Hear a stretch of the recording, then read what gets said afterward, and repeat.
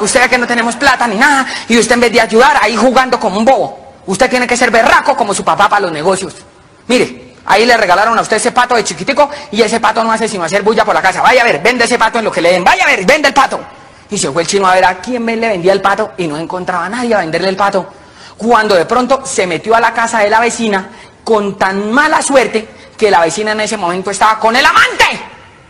Cuando la señora lo ve llegar, Chino, ¿usted qué hace aquí? ¿Qué estoy vendiendo el pato? Uy, Dios mío, y en ese momento también llegó el esposo de la señora, escóndase, escóndase. Y metió al amante y al chino entre un closet con el pato ahí. Y el hombre, callaos, callaos.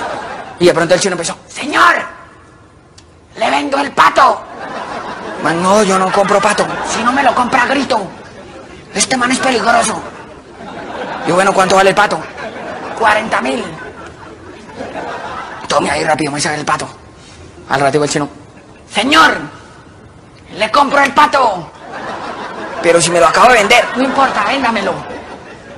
Bueno, listo, se lo vendo. Le doy 5 mil.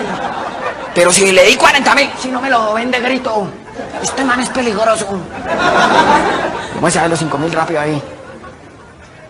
Señor, estoy vendiendo el pato. Hermano, pero no joda, hermano, otra vez con el pato. Lo dejo barato, lo dejo en 100. Uy, no se amo, pero si no me lo compra, grito porque el man es peligroso. Hijo de madre, cuando llegó el chino a la casa con 400 mil en efectivo y el pato fuera eso. Con el pato.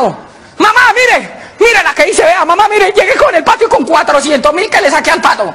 ¿Usted qué fue lo que hizo? Y le contó el chino a la mamá, dijo, uy, chino, hijo de madre, eso es una... ¿Cómo se le ocurre ir a usted a hacer eso? Me hace el favor y no, señor, eso no se hace. Se me va para la iglesia y le cuenta al padre lo que pasó, porque esto no lo voy a permitir. Y le entrega la plata y el pato al padre y que el padre haga lo que quiera, pero eso es delito y eso es un pecado de Dios. ¡Vaya a ver! Y se fue el chino con el pato, llegó a la iglesia, llegó al confesionario, cuando el padre le dijo, cuéntame, hijo mío. Dijo, padre, es que mire, yo estaba vendiendo este pato y el padre, ¿qué otra vez con el hijo madre pato? No joda, mijo.